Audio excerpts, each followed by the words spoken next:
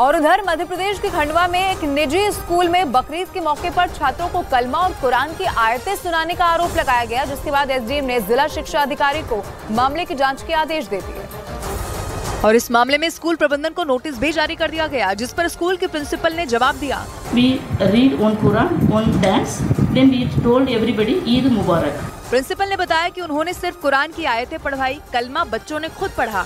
इस पूरे मामले पर कई हिंदू संगठनों ने आपत्ति जताई और एसडीएम दफ्तर पहुंचकर स्कूल के खिलाफ लिखित शिकायत दर्ज करवा दी, जिसके आधार पर एसडीएम ने जिला शिक्षा अधिकारी को जाँच के आदेश दिए। हिंदू संगठनों ने स्कूल पर कार्रवाई करते हुए स्कूल की मान्यता रद्द करने की मांग की। मध्य प्रदेश की पाठशालाओं में भी वीर सावरकर का पाठ पढ़ाए जाने के राज्य सरकार के फैसले से सियासी बवाल मच गया। कांग्रेस ने राज्य सरकार के इस फैसले पर हैरानी जताई। और कांग्रेस के विधायक आरिफ मसूद ने तो इसे क्रांतिकारियों का अपमान तक बता दिया सावरकर जी का कोई स्थान इतना बनता नहीं है जो इनकी तुलना इनसे की जा सके। लेकिन उनके इस बयान के बाद सियासी पारा हाई हो गया। मुख्यमंत्री शिवराज सिंह चौहान ने कांग्रेस पर पलटवार करते हुए साफ़ कह दिया कि जिन्होंने देश के लिए अपना सर्वस्व न्यौछावर कर दिया उनकी जीवनी पढ़ाई जाएगी। इसमें क्या दिक्कत की बात? है वीर सावरकर क्यों नहीं पढ़ाए जाने चाहिए?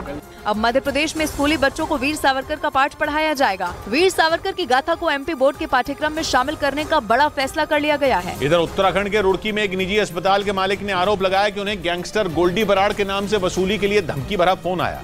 पुलिस के मुताबिक पीड़ित से 20 लाख रुपए की मांग की गई। और उस अस्पताल के मालिक ने आरोप लगाया कि उन्हें फ़ोन पर धमकी देने वाले ने अपना नाम गैंगस्टर गोल्डी बराड़ बताया। पीड़ित के मुताबिक उन्हें एक बैंक अकाउंट नंबर दिया गया और उस अकाउंट में वसूली के 20 लाख रुपए डालने की धमकी दी गई। 20 लाख रुपए की डिमांड करी गई थी। धमकी भरा फ़ोन आने के बाद से ही पीड़ित के घर पर उनके दोस्त और रिश्तेदार अपने अपने लाइसेंसी हथियार लेकर इकट्ठा हो गए और उनकी सुरक्षा में जुट गए। इसके बाद पुलिस उस फ़ोन नंबर की तलाश में जुट गई जिससे पीड़ित को धमकी दी गई। इस बीच दिल्ली पुलिस ने चार साल पहले हुए एक हत्याकांड के मामले में फरार चल रहे मार्शल आर्ट्स के नेशनल लेवल के खिलाड़ी प्रवीण हुड्डा को गिरफ़्तार कर लिया। पुलिस के मुताबिक उसने पैसों की वजह से अपने चाचा की हत्या की थी और तब से ही वो फरार चल रहा था। जिस पर हरियाणा पुलिस ने दस हज़ार का इनाम रखा था। दिल्ली पुलिस के मुताबिक उसने पैसों की वजह से अपने चाचा हरीश हुड्डा की चार साल पहले हत्या कर दी थी। दिल्ली पुलिस के मुताबिक आरोपी से उसके चाचा ने पैसे लिए थे जो नहीं लौटाए, जिसके बाद उसने अपने चाचा का अपहरण किया और उनकी हत्या कर दी और उसे अब दिल्ली पुलिस ने गिरफ़्तार कर लिया। पुलिस के मुताबिक वो मार्शल आर्ट्स का नेशनल लेवल का खिलाड़ी रह चुका है, जिसके बाद वो नीरज बवानिया गैंग से जुड़ गया था।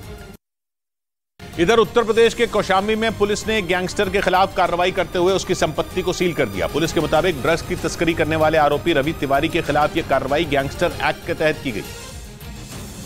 और पुलिस ने कार्रवाई करते हुए उसके एक मकान को सील कर दिया, जिसकी कीमत करीब 28 लाख रुपए बताई गई। पुलिस के मुताबिक गैंगस्टर रवि तिवारी पर ड्रग्स की तस्करी करने का आरोप है और उसके खिलाफ गैंगस्टर एक्ट के तहत पुलिस ने यह कार्रवाई की। हमने इन दोनों मकानों को कुर्क किया है। इसके साथ ही पुलिस ने वहाँ ड्रग्स की तस्करी करने वाले एक और आरोपी के खिलाफ कार्रवाई करते हुए उसके मकान को भी सील कर दिया। उधर बिहार के जमुई में पुलिस से नाराज़ एक आदिवासी समुदाय के कुछ लोगों ने तीर कमान लेकर प्रदर्शन किया। उन्होंने आरोप लगाया कि अवैध शराब के खिलाफ जाँच के नाम पर कुछ पुलिस वालों ने उनके परिवारों के साथ बदसलूकी की। और इसी बात का विरोध करने के लिए वो लोग जमुई के बरहट थाने के बाहर काफ़ी संख्या में इकट्ठा हुए और उन्होंने ढोल नगाड़े बजाकर पुलिस के खिलाफ प्रदर्शन किया। इस दौरान उन आदिवासियों के हाथों में तीर और धनुष भी दिखाई दिए।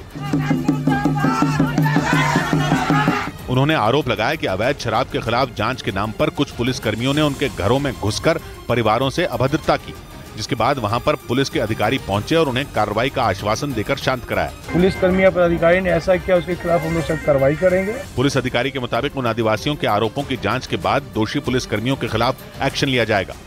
इस बीच त्रिपुरा के उनाकोटी में जगन्नाथ रथ यात्रा के दौरान एक बड़ा हादसा हो गया जिसमें सात लोगों की मौत हो गई जबकि कई लोग गंभीर रूप से घायल हो गए। यह हादसा जगन्नाथ की उल्टा रथ यात्रा उत्सव के दौरान हुआ। जिसमें बड़ी संख्या में लोग रथ खींच रहे थे। इसी दौरान वो रथ हाई टेंशन लाइन से छू गया। जिस रथ को लोग खींच रहे थे वो लोहे से बना था जिसकी वजह से उन्हें तेज करंट लगा। और रथ में आग लग गई जिससे रथ खींच रहे सात लोगों की जान चली गई और एक दर्जन से ज़्यादा लोग गंभीर रूप से झुलस गए। हादसे के बाद वहाँ अफरा तफरी मच गई और प्रशासन ने आग से झुलसे लोगों को अस्पताल में भर्ती कराया। हादसे की जानकारी मिलने पर त्रिपुरा के सीएम मानिक साहब ही उनाकोटी पहुँचे और अस्पताल में भर्ती लोगों से मुलाकात की। इस दौरान उन्होंने मृतकों के परिवारों और हादसे में झुलसे लोगों के लिए आर्थिक मदद का भी ऐलान किया।